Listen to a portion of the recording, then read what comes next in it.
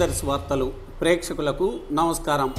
ఏ నిమిషానికి ఏమి జరుగునో ఎవరు ఊహించగలరు అన్నట్లుగా దర్శి మండలంలో సాధారణ స్థానిక ఎన్నికల్లో అభ్యర్థుల రిజర్వేషన్ కేటాయింపు కొత్త కొత్త మలుపులు తిరుగుతుండటంతో అభ్యర్థుల్లోనూ ప్రజల్లోనూ ప్రత్యేక చర్చ అయ్యింది.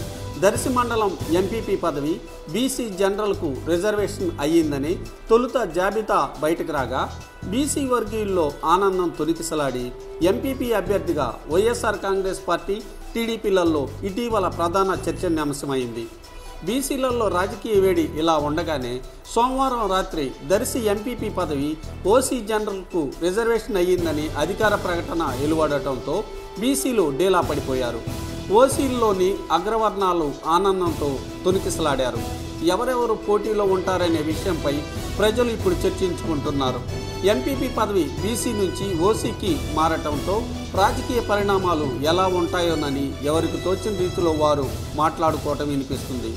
ఓపెన్ కాంపిటీషన్ అయినందున ఎంపీపీ రేసులో బీసీలు కూడా ఉంటారనే మరో వాదన కూడా వినిపిస్తుండటం విచిత్రమైన విషయం.